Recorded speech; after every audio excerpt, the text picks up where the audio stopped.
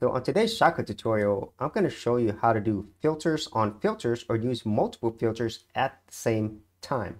So let's go ahead and see how we can do this. Welcome to another episode of geekoutdoors.com. On this channel, you'll learn how to be creative and I'll teach you the tools you need to create. So be sure to hit the like and subscribe button to help the channel create more content like this. So within Shotcut, we have a large variety of filters available for us to use, whether that's video filters, or whether that's audio filters. And the one thing that Shotcut does allow you to do is to combine certain filters together so then you could do things that you couldn't do with just one filter alone.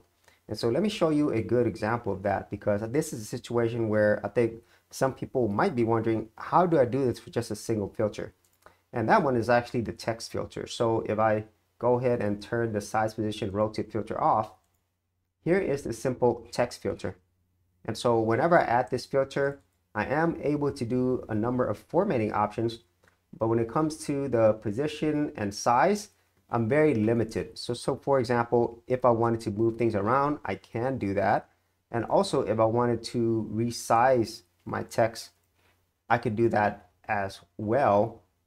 However, if I wanted to do other things like rotate it or also scale it, I'm not going to be able to do that as effectively unless I was using another filter, in this case, the size, position, and rotate filter. So let me show you how that looks like. So if I actually turn this on, so I already have it added, and I play this, I could do a number of things that I could not do with the text filter by itself.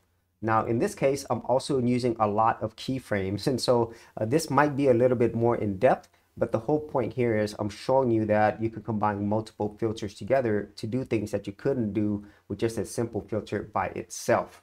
And so let's go ahead and head into the keyframes. And so if you're not familiar with how to use keyframes, I will leave a link to a tutorial I've done previously. And so in this cases, I might be going through a little bit quicker than I normally would. So we'll go here and go to the keyframes tab right here. And so if you are not familiar uh, with where the keyframes tab is. If you don't see it, you could come up here to keyframes or you could come up here to view and then you could show the keyframes right here or there's also control 7. So in this case, we're able to see the keyframes for our various filters.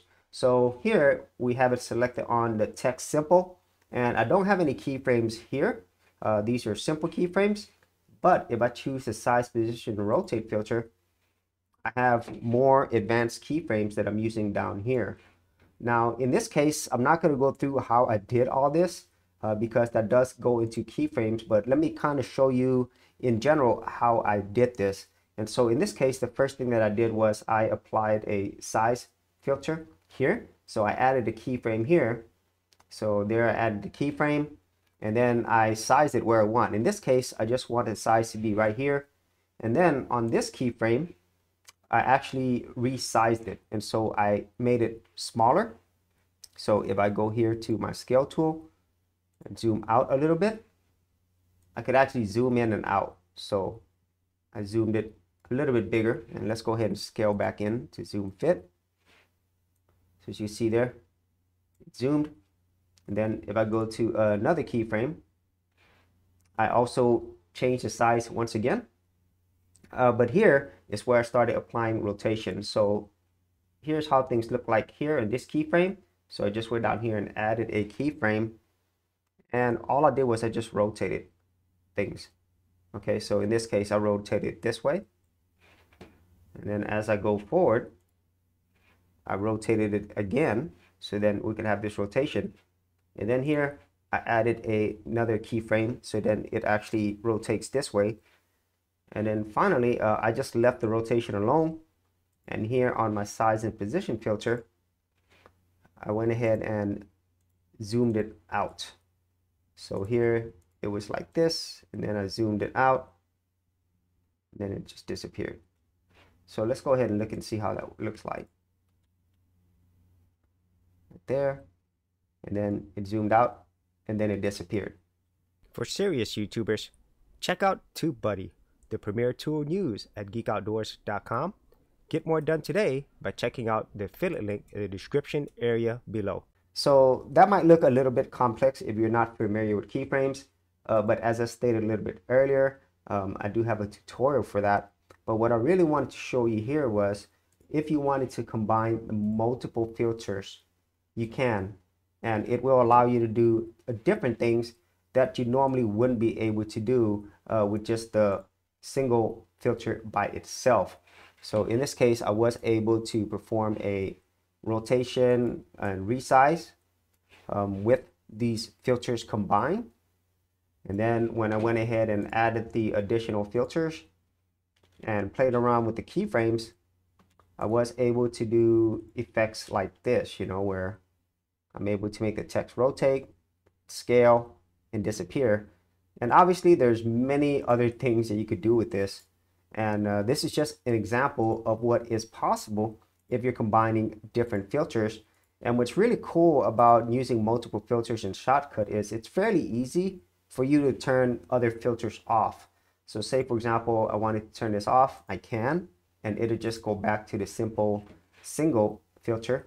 And at the same time, if I wanted to keep it on, but also add another filter, um, I could do that as well. So let me show you, I'm gonna add another filter and it's not gonna be anything really special, just like testing out stuff. So let's just say I added this uh, wave filter here. So now I have a wave filter. So we'll go ahead and watch this from the beginning. So there is my text simple uh, along with uh, this size, rotate, and position plus a wave filter. So that is a number of things. And obviously, if you experiment around with Shotcut, there are a number of things that you could do that can get a way more advanced. Uh, but I just want to show you how really cool it is for you to use uh, filters on top of filters to create, well, I would say a brand new filter. And unfortunately, as far as I know, there is not a way to create a brand new filter out of multiple filters. Now, within Shotcut, you can save each individual filter as its own customized filter, so then you could reuse later. But as far as I know, there isn't a way that I could save all these filters that I have into one brand new filter. So if any of you know how to do that, uh, please let me know and I'll make another video on that um, if we're able to do that.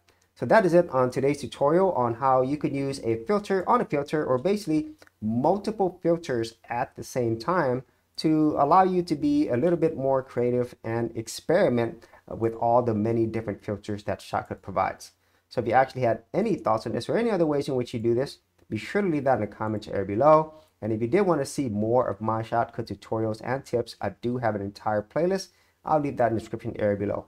So as always, if you did get value out of these videos, be sure to share, like, and subscribe.